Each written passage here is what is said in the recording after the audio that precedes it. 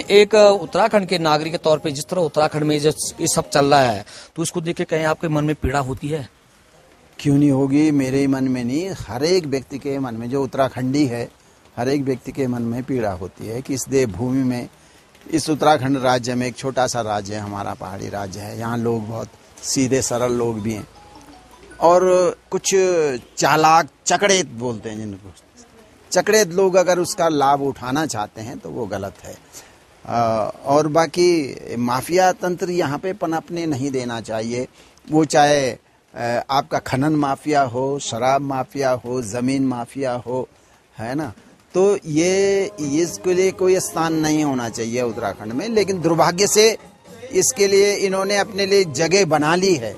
और जगह बना ली है और उसमें जो है, उसमें हमारे जो राजनीतिक हैं, लोग हैं उनका भी इसमें इन्वॉल्वमेंट लगता है। उनका भी, उनकी सहमत के बिना नहीं हो सकता है ये चीज़ें। और इससे पहले भी कुछ लोगों के नाम प्रकाश में आए हैं, जैसे भर्ती घोटाले में क्या नाम था उनका उन महाशय का मैं, नाम भूल रहा हूँ। एक मनराल थे शायद कुमाऊँ के, और एक इधर के थे उत्तरकाशी की तरफ़ के।